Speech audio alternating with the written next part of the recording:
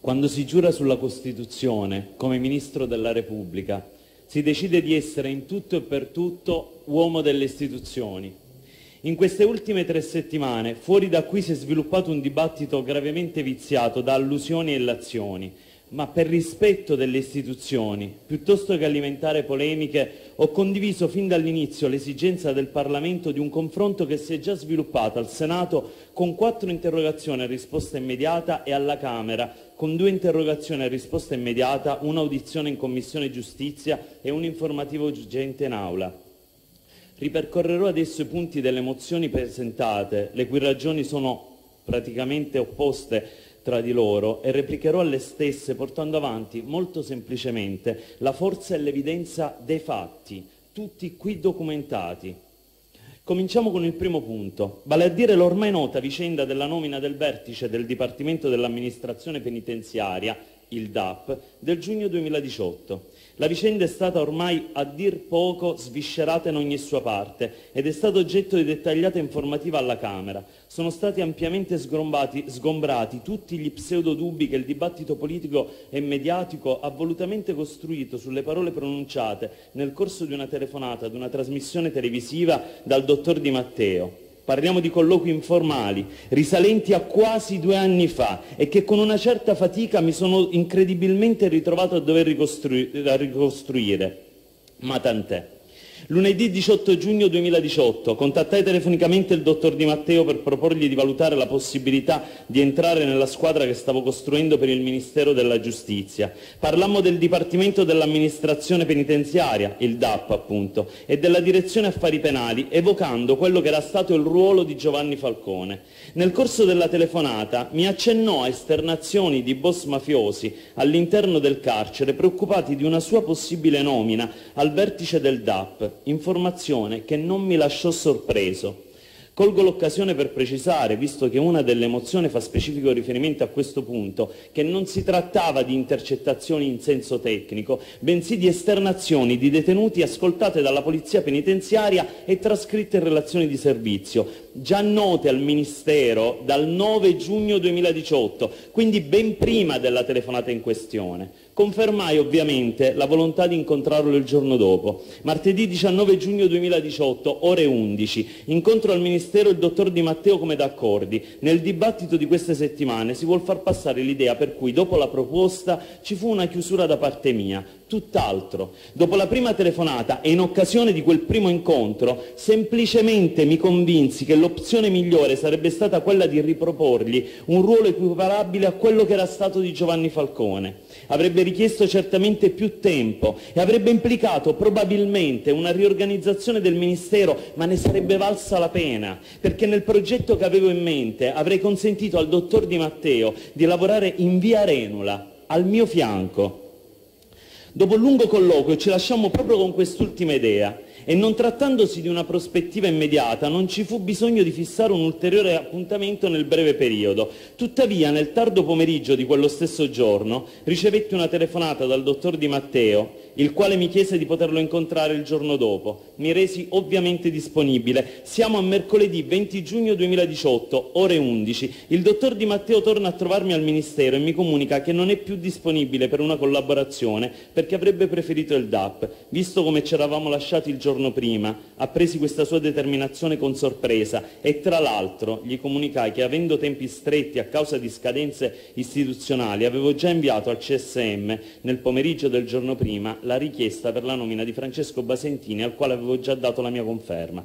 Questi sono i fatti che, diciamocelo pure, non hanno niente di particolare né tantomeno di eccezionale rispetto alle modalità e alle dinamiche di una qualsiasi nomina fiduciaria e discrezionale. Tutti i fatti sono chiari e lo sono sempre stati. E vanno fissati due punti una volta per, tutti, una volta per tutte. Primo punto, ci furono condizionamenti? Ancora una volta, no. Chi lo sostiene se ne faccia una ragione. Non sono più disposto a tollerare alcuna allusione o ridicola illazione. Lo stesso dottor Di Matteo, tra l'altro, a proposito delle esternazioni dei boss, ha chiarito in un'intervista a Repubblica del 6 maggio 2020 che durante la prima telefonata, cito testualmente, il ministro si mostrò informato della questione. Secondo punto, il confronto tra i due possibili ruoli di cui parlammo con il dottor Di Matteo.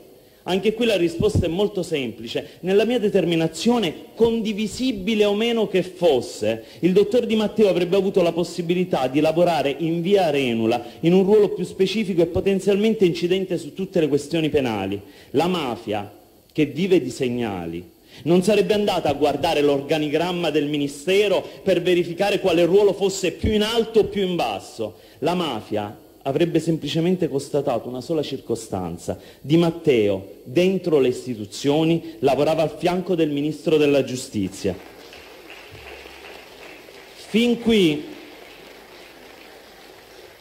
fin qui può considerarsi esaurita la trattazione degli argomenti risalenti al 2018, ma sia detto per inciso, in questi due anni, da Ministro della Giustizia, ho scritto e portato avanti leggi che, come è normale che sia, hanno ricevuto apprezzamenti, tra l'altro anche a livello internazionale, ma anche critiche. Queste ultime, che io rispetto sinceramente, nascono molto spesso sia dalle diverse sensibilità giuridiche e culturali, sia dal fatto che del tutto legittimamente si è ritenuto che gli stessi obiettivi potessero essere perseguiti attraverso strumenti o norme differenti. Ma c'è un punto che risulta evidente a tutti la ferma determinazione che rivendico, con cui quelle leggi combattono il malaffare, ed è proprio la lotta al malaffare senza compromessi che ha sempre animato e sempre animerà la mia attività politica. Chiusa la parentesi, passiamo alla questione legata alla gestione dell'impatto dell'emergenza coronavirus nelle carceri, su cui mi si accusa di non aver approntato cautele sanitarie e misure efficaci. Le misure adottate e i risultati raggiunti sono tutti documentati. Prima di arrivarci però, cominciamo con il dire che a fronte di una pandemia la situazione delle carceri presenta due aspetti peculiari. Da un lato parliamo di strutture chiuse per definizioni dove è più difficile per il virus entrare, Dall'altro lato, nel caso in cui il virus riesca ad entrare, all'interno dell'istituto penitenziario, così come in qualsiasi altra struttura chiusa e come per esempio è drammaticamente accaduto nelle RSA, la concentrazione di persone all'interno ne aumenta potenzialmente la sua capacità di diffusione. Chiarisco che non sto esponendo una rivoluzionaria ipotesi scientifica, siamo di fronte ad una semplice ed elementare constatazione logica e di buonsenso. D'altronde non c'è paese al mondo colpito dalla pandemia che non si sia posto il problema delle carceri come una delle linee di frontiera più complesse nel contrasto al virus. Dunque, questo problema è sempre stato chiaro a tutti, tranne, stando all'emozione, alle opposizioni, che ancora oggi affermano nella loro mozione che l'articolo 123 del decreto Cura Italia, cito testualmente, introduceva il pericoloso, indimostrato e falso nesso di causalità fra il rischio di contagio e lo stato di detenzione. Quindi il rischio di contagio nelle carceri, che ripeto per tutto il mondo è un dato di fatto, in Italia, secondo le forze di, di opposizione, l'avrebbe inventato il governo con l'articolo 123 del Cura Italia. Ad ogni modo, sia chiaro che tutte le misure adottate in Italia trovano il presupposto in specifiche indicazioni di carattere medico-scientifico dell'autorità sanitaria competente L'obiettivo è sempre stato chiaro, la tutela della salute non solo di coloro che lavorano e vivono all'interno delle carceri, ma anche della collettività tutta, nell'evitare che eventuali focolai potessero aggravare le difficoltà del sistema sanitario in quel momento già drammaticamente sovraccarico. Per evitare ciò, il 22 febbraio il capo dipartimento, il dottor, allora il capo dipartimento, dottor Basentini, prescriveva il rispetto da parte degli istituti penitenziari e del personale delle indicazioni provenienti da dal Ministero della Salute, invitando allo stesso tempo ogni direzione a coordinarsi con le autorità sanitarie locali. Con la medesima circolare veniva subito istituita l'unità di crisi presso la Direzione Generale dei Detenuti e del Trattamento. Da quel momento sono state adottate le seguenti misure. Sospensione temporanea dei colloqui di persona dei detenuti con conseguente sostituzione con modalità di colloquio a distanza. Il nostro esempio su questo punto è stato seguito da tutti i più grandi paesi europei. Predisposizione di controlli in ingresso, anche tramite termoscanner, dei detenuti cosiddetti nuovi giunti, nonché del personale dell'amministrazione penitenziaria. Distribuzione dei dispositivi di protezione, in sinergia con la protezione civile, che ringrazio, installazione di 145 tensostrutture agli ingressi degli istituti penitenziari per permettere il cosiddetto pre-triage. Individuazione negli istituti dove non è presente una tensostruttura di appositi spazi interni. Predisposizione di assistenza sanitaria specifica per soggetti contagiati con personale medico a cui è rimessa la valutazione circa la necessità di eventuale ricovero presso strutture sanitarie esterne, individuazione degli spazi e delle sezioni idonee per l'eventuale isolamento sanitario in caso di sospetto contagio, divieto di trasferimento dei detenuti se non dopo visita medica ed eventuale tampone negativo, sanificazione dei locali che hanno ospitato detenuti contagiati e con sospetto di contagio. Inoltre, grazie alla collaborazione con le protezioni civili e con gli altri ministri competenti, e permettetemi di ringraziare i ministri Speranza e Boccia, sono stati assunti in via straordinaria mille operatori sanitari per le carceri. Fin dal, infine, dall'inizio dell'emergenza coronavirus, sono stati immessi anticipatamente in ruolo 1.100 nuovi agenti di polizia penitenziaria. In due anni parliamo di circa 3.900 agenti. Fatto l'elenco delle misure adottate, la domanda da porsi a questo punto è queste misure hanno funzionato? Giudicate voi, alla data del 19 maggio 2020, dei 53.458 detenuti risultano accertati 102 casi di persone recluse attualmente positive, di cui soltanto una ricoverata in strutture sanitarie esterne, anche considerando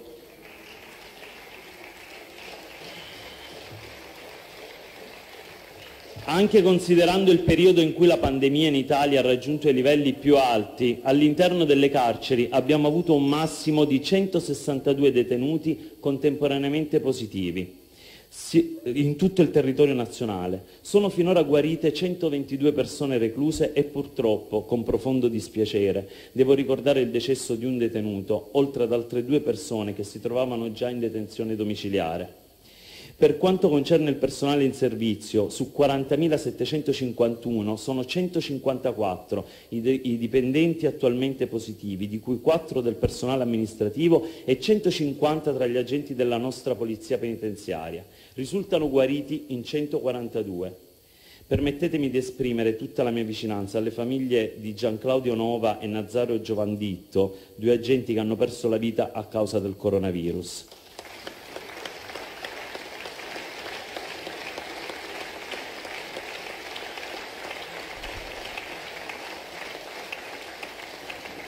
A tutta la polizia penitenziaria e a tutto il personale dell'amministrazione penitenziaria va la mia più profonda e sincera gratitudine per la professionalità e l'abnegazione dimostrate ancora una volta anche in occasione dell'emergenza.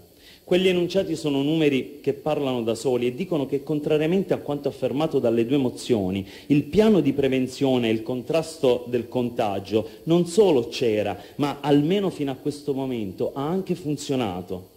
È totalmente falsa l'immagine di un governo che avrebbe spalancato le porte delle carceri addirittura per i detenuti più pericolosi. Dati alla mano, la riduzione della popolazione detenuta in Italia è stata determinata nella stragrande maggioranza dei casi dall'applicazione di leggi vigenti nel nostro ordinamento da decenni e che nessuno aveva mai cambiato, nonostante numerosi anni trascorsi al governo del Paese. La scelta di questa maggioranza è stata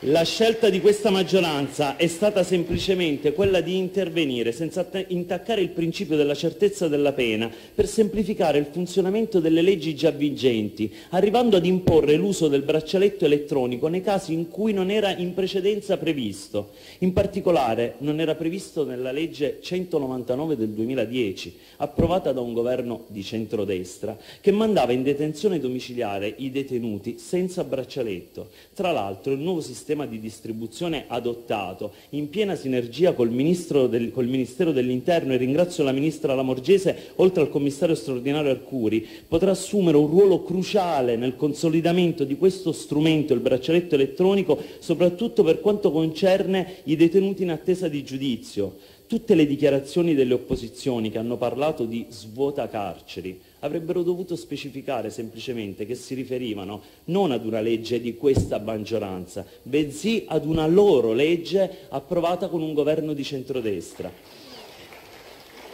E c'è un punto in particolare che svela l'inconsistenza delle accuse che vengono mosse al sottoscritto e al governo. Il decreto Cura Italia parla chiaro, sono esclusi dall'accesso alla detenzione domiciliare sia i detenuti condannati per reati di mafia e altri reati più gravi, cosiddetti ostativi, sia ovviamente tutti coloro che hanno partecipato ai gravi disordini nelle carceri nei primi giorni di marzo, su cui sono in corso le relative indagini da parte dell'autorità giudiziaria e non entro nel merito. Ora mi chiedo, a fronte di una legge che esclude esplicitamente rivoltosi e mafiosi dai benefici penitenziari, com'è possibile possibile sostenere, come fanno le opposizioni, che di questa legge se ne possono avvantaggiare in qualsiasi modo proprio i mafiosi e i rivoltosi che sono invece esplicitamente esclusi. E la domanda, e la domanda che a questo punto sorge spontanea è in base a quale legge sono usciti dal carcere i detenuti condannati definitivamente per cosiddetti reati di mafia? Molto semplice. Nella maggior parte dei casi, in base agli articoli, risulta che sia, stato, sia accaduto in base agli articoli 146 e 147 del Codice Penale del 1930, in combinato disposto con le norme dell'ordinamento penitenziario del 1975, che stabiliscono il proseguimento dell'esecuzione della pena in detenzione domiciliare per motivi di salute. E le norme appena citate sono in qualche modo riconducibili all'attività mia o di questo governo? No, a meno che qualcuno non voglia affermare che siamo al governo da più di 50 anni. Ricapitolando, ricapitolando i giudici Ricapitolando, i giudici hanno applicato leggi vigenti, nella migliore delle ipotesi, da più di 50 anni e che nessuno aveva mai cambiato. Si continua a fare riferimento alla nota del DAP del 21 marzo 2020, adottata sulla, pre, su, adottata sulla base di precise valutazioni provenienti dall'autorità sanitaria. Una nota che in piena pandemia offriva al magistrato competente un quadro sanitario completo di tutti i detenuti presenti nell'istituto penitenziario. La nota in questione, tra l'altro, è stata emanata in adempimento, oltre che dei principi sanciti dalla nostra Costituzione come la tutela del diritto alla salute, anche in adempimento del decreto del Presidente della Repubblica numero 230 del 2000, che stabilisce non da adesso con questa maggioranza, ma da 20 anni per l'appunto, che in caso di determinate patologie la direzione dell'istituto trasmette gli atti al magistrato di sorveglianza e al tribunale di sorveglianza per i provvedimenti di rispettiva competenza. Ma c'è di più. Come ho già detto più volte, anche in quest'Aula, si tratta comunque di una comunicazione amministrativa che per sua stessa natura non può certamente vincolare la decisione di un magistrato. La Costituzione, certo, non lascia spazio ad ipotesi in cui la nota di un direttore generale, di un dipartimento, di un ministero possa dettare o anche solo condizionare la decisione del magistrato. E questo non è come si continua a dire, uno scaricabarile nei confronti della magistratura. È proprio il contrario, è rispetto dell'autonomia e dell'indipendenza della magistratura. Per questo respingo ogni strumentalizzazione politica e riconosco Riconosco ai giudici di sorveglianza di aver svolto un lavoro importante in un momento difficilissimo in cui la pandemia, nonostante tutte le cautele adottate, ha messo a dura prova l'intera infrastruttura generale del nostro Paese e a maggior ragione un'amministrazione delicata e complessa come quella penitenziaria. Per inciso, a proposito delle condizioni dell'edilizia delle nostre carceri, in quasi due anni ho portato avanti tutta una serie di progetti di edilizia penitenziaria che, per esempio, stanno portando all'apertura proprio in queste due settimane di quattro nuovi padiglioni per 800 posti detentivi. Nei prossimi tre anni sono già definiti e stanziati investimenti per migliorare le condizioni delle nostre carceri e realizzare un aumento complessivo di circa 5.000 nuovi posti. Ma vorrei soffermarmi sulla finalità rieducativa della pena, sancita dall'articolo 27 della Costituzione, che è un principio che sta guidando questa maggioranza e questo governo in tutti i provvedimenti relativi alla materia dell'esecuzione penale. Siccome in una delle due mozioni si parla di mancanza di investimenti mirati a potenziare la funzione rieducativa della pena, ricordo che sono aumentati, proprio per volontà di questa maggioranza, gli investimenti nell'ambito dell'area trattamentale, Ricordo che è stato potenziato il Dipartimento per la giustizia minorile e di comunità, che sovrintende proprio all'esecuzione esterna della pena, che si sono moltiplicati i protocolli di lavoro di pubblica utilità per i detenuti, passando da 1 a circa 70 in due anni. E ricordo che è stato istituito l'Ufficio centrale per il lavoro dei detenuti. Proprio ieri è stato pubblicato il bando per dirigenti penitenziari dopo oltre 23 anni e a fine mesi sarà pubblicato un concorso per 95 educatori, mentre è in corso la selezione per i mediatori culturali. Chiaramente, la situazione è ancora difficile e c'è tanto da fare. E ci sono stati magistrati che in un momento di grave emergenza epidemiologica hanno deciso la scarcerazione di detenuti per motivi di salute, lo ribadisco, in base a norme esistenti da decenni e senza entrare nel merito di tali decisioni, il governo è immediatamente intervenuto con due decreti che stanno già dando importanti risultati. Con il primo, il numero 28 del 2020, la Direzione Nazionale Antimafia e Antiterrorismo e le direzioni distrettuali rendono un parere obbligatorio rispetto a decisioni in relazione alle quali prima non si prevedeva alcun tipo di coinvolgimento. Nonostante adesso siano in tanti a dire cosa avrebbero fatto, l'unico dato certo è che nessuno aveva mai pensato a questa importante innovazione. Noi, questo governo, questa maggioranza, l'abbiamo introdotta quell'innovazione. Grazie al secondo decreto antimafia, il numero 29 del 2020, nel giro di due settimane tutti i condannati o imputati per reati gravi scarcerati per motivi di salute legati al rischio Covid che non sono 497 bensì 256, tornano davanti al giudice alla luce del mutato quadro sanitario della fase 2 e il DAP assume per legge un ruolo che prima la legge non gli attribuiva e ciò detto sto chiaramente portando avanti tutti gli accertamenti necessari che competono al Ministro e al Ministero della Giustizia. Nel frattempo c'è stato un tempestivo cambio a vertici del DAP con l'arrivo del nuovo capo, il dottor Bernardo Petralia, e del vice capo, il dottor Roberto Tartaglia. Anche su questo, in una delle due mozioni vengono rivolte contestazioni ardite e infondate, secondo le quali la nomina del dottor Tartaglia sarebbe illegittima. Il relativo atto di nomina, formalizzato con DPCM del 30 aprile 2020, risulta perfettamente conforme alla normativa vigente, come confermato dall'esito assolutamente positivo del controllo effettuato sia dal CSM che dalla Corte dei Conti. Infine, si contesta la mancata assunzione di provvedimenti adeguati nel settore dell'organizzazione degli uffici giudiziari, soprattutto in vista, in vista della fase di ripartenza iniziata lo scorso 11 maggio.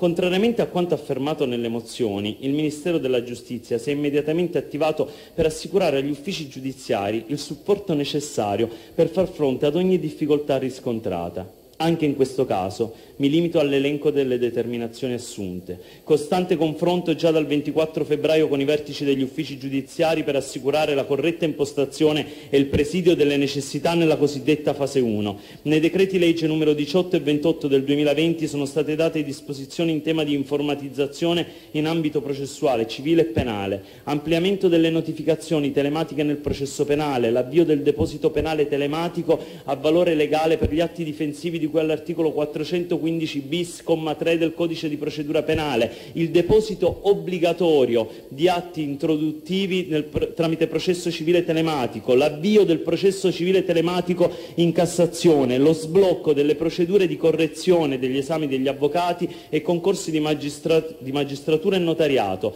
Il tutto nel fattivo confronto con l'avvocatura e il mio grazie va a tutti coloro che lavorano negli uffici giudiziari in condizioni certamente difficili con gravi disagi.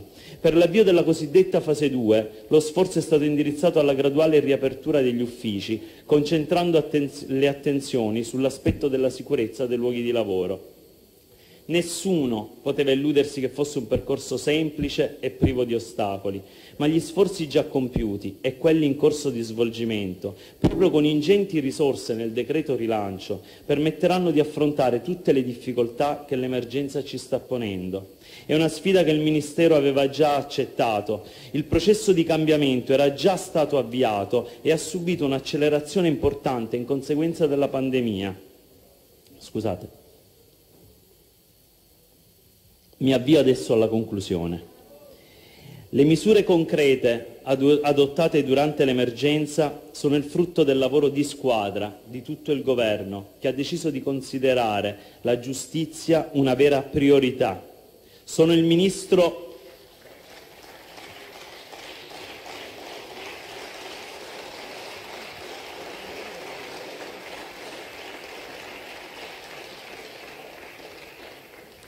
Sono il Ministro della Giustizia di un governo di coalizione e il ruolo cruciale della giustizia, che sta a cuore a tutti gli operatori economici e a tutti i cittadini in generale, assume un'importanza addirittura maggiore in questo momento di ripartenza per il nostro Paese. È fondamentale che i cittadini sappiano di poter contare su un processo che abbia tempi certi e ragionevoli. Tante volte all'interno della maggioranza ci siamo interrogati e anche divisi in ordine, per esempio, all'impatto conseguente alla riforma della prescrizione. Su questo punto, così come su tutto l'andamento dei tempi del processo, sarà importante, sulla scia di quanto già fatto per il cosiddetto codice rosso, istituire una commissione ministeriale di approfondimento e monitoraggio dei tempi che permetta di valutare l'efficacia della riforma sia del nuovo processo penale sia del nuovo processo civile. La garanzia del diritto alla difesa e la ragionevole durata del processo sono due valori imprescindibili che vanno di pari passo e che rappresentano l'obiettivo principale delle riforme del processo civile e del processo penale. A tal proposito, visto che una delle due mozioni mi imputa il fatto che non sia stata calendarizzata, questo come è noto a tutti appartiene alla sovranità del Parlamento in cui non interferisco. Sempre in tema di garanzie di diritti fondamentali, rivendico con orgoglio la massima attenzione riservata alla gravissima patologia legata alle ingiuste detenzioni. E voglio chiarire che sono il primo Ministro della Giustizia che ha disposto che l'ispettorato del Ministero verificasse in via strutturale e sistematica tutti i casi in Italia di ingiusta detenzione per i provvedimenti poi che riterrà di dover portare avanti. Tra l'altro il poderoso aumento già disposto delle persone che lavorano e che lavoreranno eh, nei tribunali in sinergia con la Ministra Dadone, eh, persone che lavoreranno come giudici togati, giudici onorari e personale amministrativo è il miglior punto di partenza. Altro fondamentale progetto di riforma è quello del Consiglio Superiore della Magistratura, a tutela dell'autonomia ma anche dell'autorevolezza e del prestigio dell'istituzione. Sul relativo progetto c'era già stata un'ampia convergenza nella maggioranza poco prima che cominciasse l'emergenza coronavirus. Sono consapevole che su tutti questi contenuti il confronto con tutte le forze politiche di maggioranza sarà costante, approfondito è, improntato ad una leale e reale collaborazione, così come è accaduto per esempio in occasione della recente approvazione dei due decreti antimafia. In questi primi mesi le sfide affrontate sono state tante e hanno riguardato settori fondamentali non solo della giustizia, ma anche della salute e della vita economica del nostro Paese. Penso, per esempio, al disegno di legge governativo sulle agromafie, scritto insieme alla Ministra Bellanova, che recepisce il progetto della cosiddetta Commissione Caselli. Così come bisognerà proseguire nel monitoraggio e miglioramento dell'efficacia degli strumenti di contrasto alla violenza sulle donne. Di fronte a differenze culturali e politiche che esistono e vanno rispettate, la grande sfida da raccogliere consiste nella possibilità concreta di trovare una sintesi nella maggioranza in nome e nella consapevolezza del fine ultimo della giustizia, vale a dire la tutela, la protezione e il rispetto dei diritti di tutti i cittadini che sono e devono esserlo realmente uguali davanti alla legge. Grazie.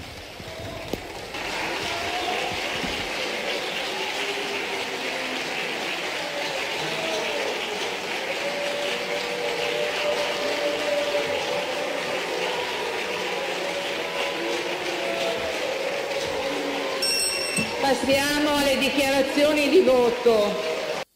Proclamo il risultato della votazione con appello sulla mozione numero 230.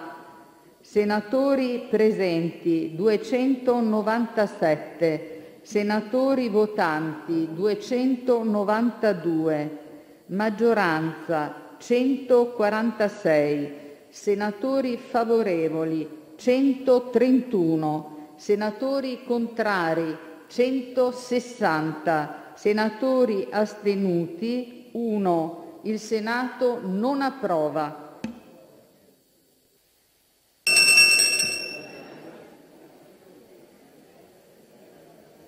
Proclamo il risultato della votazione con appello nominale sulla mozione numero 235 a firma dei senatori Bonino ed altri. Senatori presenti 302, votanti 301, maggioranza 142, senatori favorevoli 124, senatori contrari 158, Senatori astenuti 19. Il Senato non approva.